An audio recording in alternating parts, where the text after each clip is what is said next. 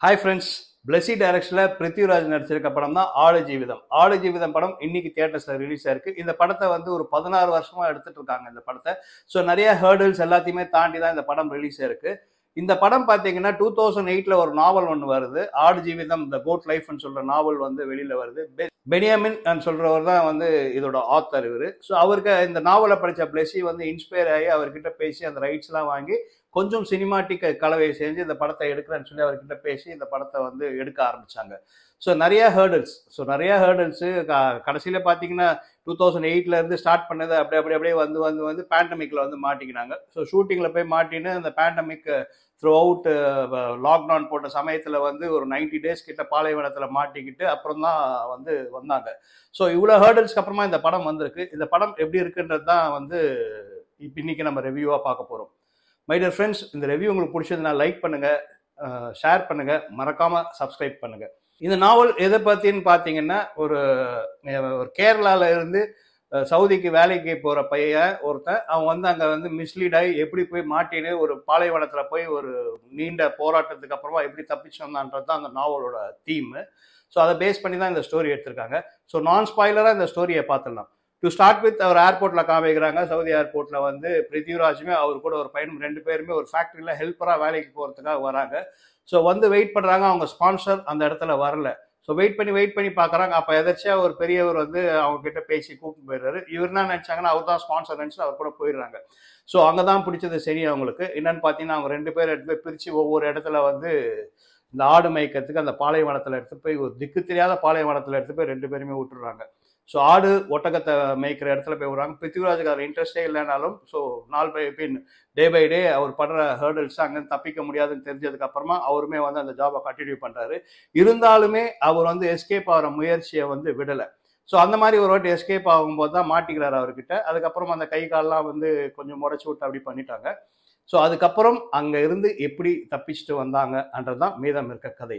இந்த படத்தில் பார்த்தீங்கன்னா Prithviraj Amala Paul Jimmy Jean Louis Shobana மோகன் மற்றும் பலர் நடிச்சிருக்காங்க. அதுவும் பிருத்திவிராஜ் கூட ஒரு பையன் நடிச்சிருக்கான். அந்த பையன் பேர் தெரியல எனக்கு. அந்த பையமே வந்து நல்லா பண்ணியிருக்கான் அந்த படத்தில். ஆக்டர்ஸ் அவங்கவுங்க பங்குக்கு நல்லா பண்ணியிருக்காங்க. இன்ஃபேக்ட் ஜிமி ஜீன் கூட வந்து ரொம்ப நல்லா நடிச்சிருக்காரு.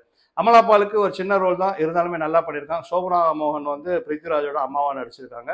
ஸோ அவங்க பார்ட்ஸ் எல்லாருமே வந்து நல்லா தான் பண்ணியிருக்காங்க. இந்த படத்தை வந்து ரொம்ப ரசித்து அதாவது ரொம்ப இன்டேக் பண்ணி எடுத்திருக்காரு பிளஸின்னு தான் சொல்லும் என்னன்னு பார்த்தீங்கன்னா ஒரே ஒரு சீன் சொல்கிறேன் வந்து ஒரு ஒரு பாலைவனத்தில் மேலே மீன் மேடு மாதிரி இருக்க பாலைவனத்தில் நடந்து வராங்க. ஸோ முன்னாடி வந்து இவர் போயிட்டு ஜிம்மி போயிட்டு திரும்பி வருவார். அதை வந்து ஒரு லாங் ஷாட் வந்து காமிக்கிறாங்க. மீன் இதுல இருந்து ட்ரோன்ல இருந்து காமிக்கிறாங்க. காமிக்கும் போது பார்த்தீங்கன்னா அந்த ஃபுட் பிரிண்ட்ஸ் பார்த்தீங்கன்னா அவர் எங்க போய் நின்னாரோ அங்க இருந்து எங்கேருந்து ஏறினார் அந்த அளவுக்கு ஒரு கிளாரிட்டியா வந்து படத்தை எடுத்திருக்காரு. பிளஸி அவ்வளோ ஒர்க் பண்ணியிருக்காங்க இந்த படத்துல. உண்மையிலேயே படத்தோட photography K. A Sunilan K. U. மோகனனை வந்து ரொம்பவே பாராட்டும். ரொம்ப அருமையாக பண்ணியிருக்காங்க ஃபோட்டோகிராஃபி அவங்க பங்குக்கு ரொம்ப பிரமாதமாக பண்ணியிருக்காங்க. அதே மாதிரி எடிட்டிங் வந்து ஸ்ரீகர் பிரசாத் பண்ணியிருக்காரு. ரொம்ப நல்லா கட்ஸ் பண்ணியிருக்காருன்னு தான் சொல்லணும். மியூசிக் தலைமை ஏஆர் ரஹ்மான் அவர் பங்குக்கு அருமையாக பண்ணியிருக்காரு. ஸோ சாங்ஸ் தான் என்னமோ நான் தமிழில் பார்த்ததால வந்து எனக்கு இடுபடலையா என்னன்னு தெரியல. எனக்கு சாங்ஸ் ஒரு மாதிரியா தான் அது மைட் பி மலையாளத்தில் நல்லா இருக்கலாம் அந்த சாங்ஸு ஓவரால் இது வந்து ஒரு சவுதியிலேருந்து சர்வைவல் ட்ராமாவாக வந்திருக்கிற படம் தான் இது ஆடு ஜீவிதம் த கோட் லைஃப் ஸோ அந்த அளவுக்கு ரொம்ப சாட்டிஸ்ஃபேக்ஷனாக எடுத்திருக்காருன்னு தான் சொல்லணும் பிளேசி அவர் வந்து இவ்வளோ வருஷம் காத்திருப்பு ஒரு பதினாறு வருஷமாக காத்திருந்து இந்த படத்தை வந்து முழுமைப்படுத்தி ரிலீஸ் பண்ணியிருக்காருன்னும் போது அந்த காத்திருப்புக்கான இது இருக்குது இது முக்கியமாக நான் அவங்களை சொல்ல விரும்புகிறேன் இருபத்தஞ்சி வயசு கீழே இருக்கவங்களுக்கு எனக்கு தெரியாது இந்த படம் பிடிக்குமான்னு. ஏன்னா அவங்க எல்லாமே வந்து ஒரு விறுவிறுப்பு ஒரு ஃபைட்டு ஒரு கமர்ஷியல் படமாக பார்க்குறவங்களுக்கு இது எப்படி இருக்கும்னு தெரியாது.